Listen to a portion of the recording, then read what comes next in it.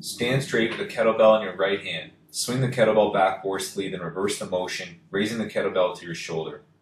Your elbow should be bent 90 degrees. Pause at the top of the motion, then lower the kettlebell back to the starting position and repeat.